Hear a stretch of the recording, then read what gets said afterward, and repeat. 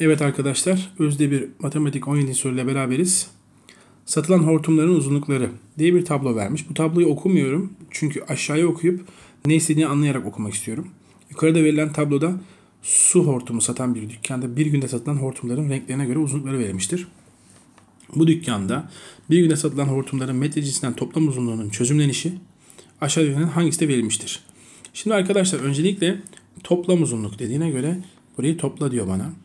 Şimdi 12,4 ben bunu 40 diye yazayım. 5,40 çünkü bir tane iki haneli var çünkü. 3,25 ve 1,80 çünkü yanına sıfır koymak serbest. Topladım 5 8 10 18 elde var. 1 virgülü koydum. 13 5 daha 18 3 daha 21 bir daha 22 22,85 arıyoruz. Şimdi 22,85 için şurası 10 üzeri 1'ler, burası 10 üzeri 0'lar, burası 10 üzeri eksi 1'ler, şurası 10 üzeri eksi 2'ler diye gidiyor değil mi? 1, 0, eksi 1 diye.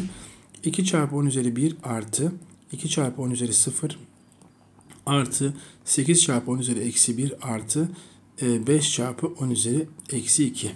Bunu arıyoruz arkadaşlar. 1, 0, eksi 1, eksi 2, 2, 2, 8, 5 bulduk şık. Bu 200 var diyor. Yanlış zaten arkadaşlar. Bu 22,805 diyor. Yanlış.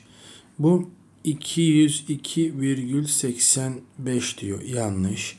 Bu ne diyormuş bakalım? 22,085 diyor. Bu da yanlış. Bize verilen şık Bursa arkadaşlar.